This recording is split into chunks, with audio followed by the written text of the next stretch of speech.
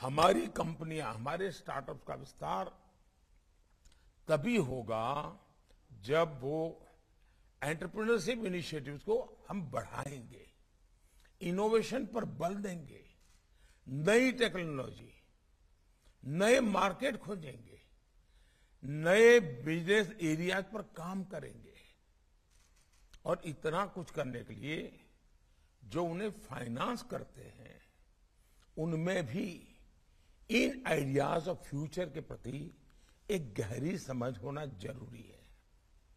हमारे financing sector को भी नए फ्यूचरिस्टिक आइडियाज़ और इनिशिएटिव्स की इनोवेटिव फाइनेंसिंग और सस्टेनेबल रिस्क मैनेजमेंट पर हमें विचार करना होगा।